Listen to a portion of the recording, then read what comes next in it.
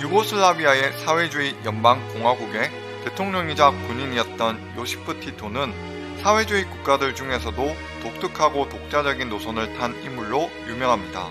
그는 1948년부터 유고슬라비아를 통치하며 동유럽의 사회주의 국가이면서도 소련의 통제를 받는 위성국의 입장을 벗어나려고 했습니다.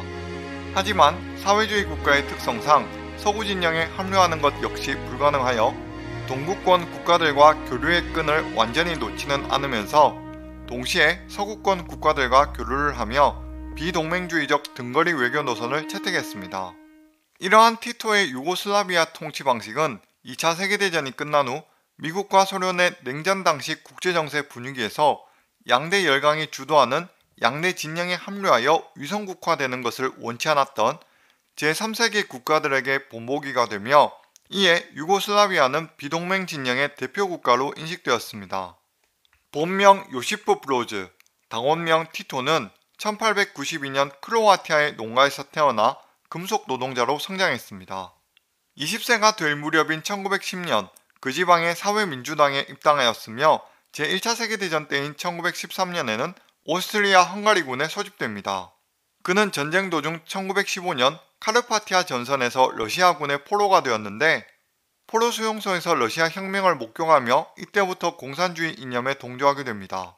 러시아 혁명이 발발할 때 혼란을 틈타 수용소에서 탈출한 그는 러시아 내전을 피하며 각지를 전전하는 떠돌이 생활을 했고 폴카라는 애칭으로 불리던 펠라기아 벨로우소바를 만나 첫 번째 결혼을 합니다. 1920년 요시프 블로즈는 고국으로 귀국했는데 이때 당시 그가 살았던 고국은 세르비아, 크로아티아, 불가리아 등이 통합된 유고슬라비아 왕국이 건국되었습니다. 추후 유고슬라비아 사회주의 연방공화국이 탄생하기 이전에는 1918년부터 1941년까지 세르비아의 카라조르 제비치 왕조가 통치하는 유고슬라비아 왕국이 존재했었습니다. 요시프 브로즈는 귀국 후 유고슬라비아 사회당에 입당해 티토라는 가명으로 활동하며 여러 공장의 파업을 주도하다가 당국에서 요주의 인물로 낙인 찍히게 됩니다. 그러다 유고슬라비아 국가보안법 위반 혐의로 체포되어 5년간 수감 생활을 합니다.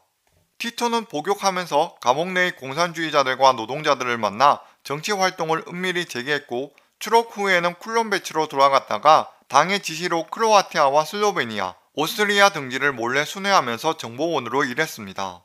이 기간 동안 티토는 여러 가지 가면과 위조 여권을 사용해 몸을 숨기는 방식에 익숙해졌으며 40대 시절인 1935년에는 코민테른의 유고슬라비아 대표단 일원으로 모스크바에서 열린 회의에 참가해 각국의 공산주의자들과 접촉합니다. 코민테른은 1919년 모스크바에서 창설된 공산주의 국제연합으로 이 기구의 지도자는 레닌이며 제1, 2차 인터내셔널의 국제노동자 협회라는 명칭 대신 공산주의 인터내셔널이라는 명칭을 채택하여 일명 코민테른이라고 불립니다. 소련 체제 중 티토는 펠라기아와 이혼하고 오스트리아 출신의 공산주의자인 루치아 바우어와 재혼했는데 펠라기아는 비밀경찰에 의해 유고슬라비아 스파이 혐의로 수용소에 수감되었습니다.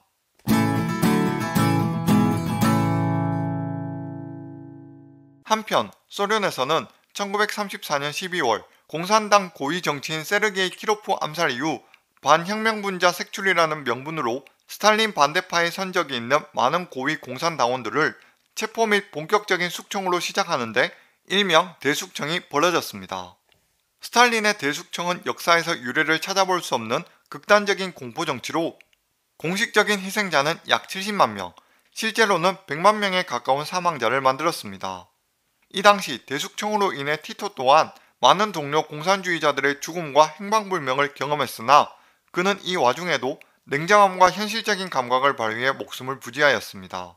대숙청이 한창 이루어지던 1937년 티토는 스탈린의 지시로 체포된 밀란 고르키치의 뒤를 이어 유고슬라비아 공산당 서기장 대행을 맡게 되고 2년 뒤인 1939년 정식으로 서기장에 부임합니다.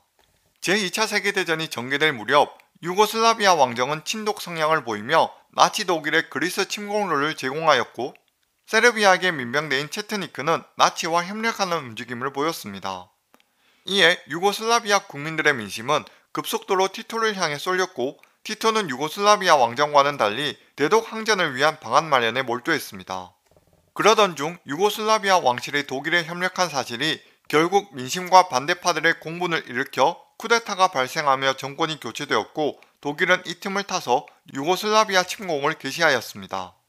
나치의 침략 11일 만에 유고슬라비아는 독일군, 헝가리군, 이탈리아군 등의 수중에 떨어졌고 이를 보던 티토는 파르티잔을 본격적으로 조직하기 시작했습니다.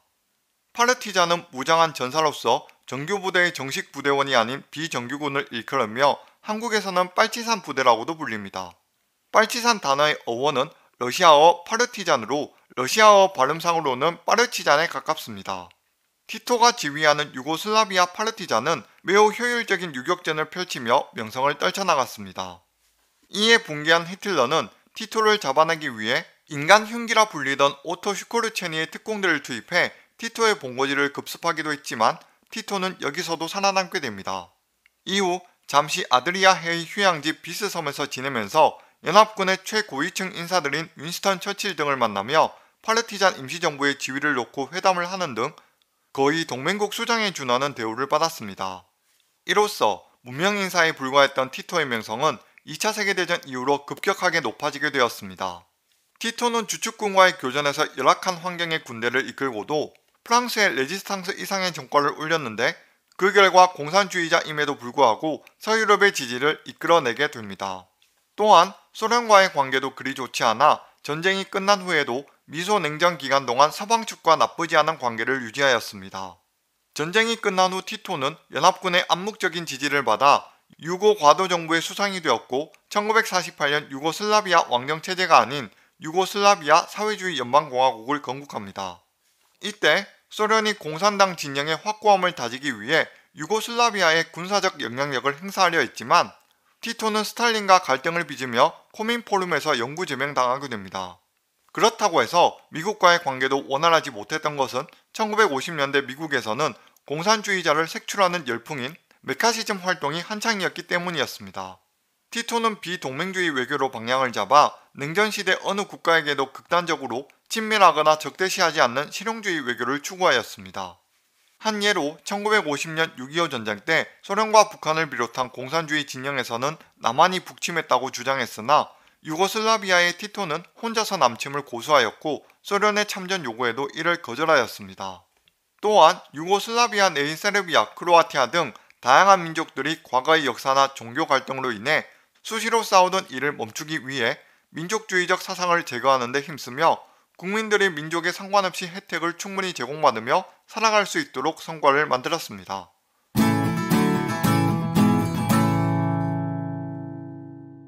이러한 티토의 움직임은 여러 민족이 혼합되어도 유고슬라비아라는 새로운 민족을 탄생시킴으로써 내전을 막을 수 있다고 자신의 신념을 믿었습니다. 그리고 그의 성과는 어느 정도 현실화되어 갔지만 티토가 죽고 난 후에는 급격하게 체제가 무너지면서 유고슬라비아 내전인 유고슬라비아 전쟁이 발발하게 됩니다.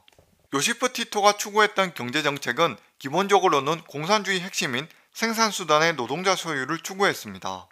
타 공산국가들과의 차이점은 공장이나 공기업의 경영권을 공산당에서 관리하지 않았으며 낮은 생산력에서 나타나는 비효율을 제거하기 위해 국가의 과도한 개입을 하지 않으려 하는 움직임을 보였습니다. 티토는 1974년 신헌법이 제정되어 종신 대통령 직책을 얻으며 독재자의 행보를 보이기도 했습니다. 이에 대해서도 당시 시대상으로 독재 정치의 형태를 보인 김일성과 스탈린, 마오쩌둥 등의 독재자와 비교할 때 자신들의 정적들에 대해서 다소 매너 있는 대우를 해주었습니다. 1950년대 이래 당내에서 티토의 반대파들은 추방되긴 했지만 그들은 처형이나 투옥이 아닌 고액의 연금을 수령하는 비정치권 인사가 되었을 뿐입니다. 하지만 정치적 반대 세력에 대해서는 탄압의 형태를 취하진 않았던 티토였더라도 친소파나 민족주의를 내세워 국내 편가르기를 주도하는 인사들에 대해서는 투옥을 시키기도 했습니다.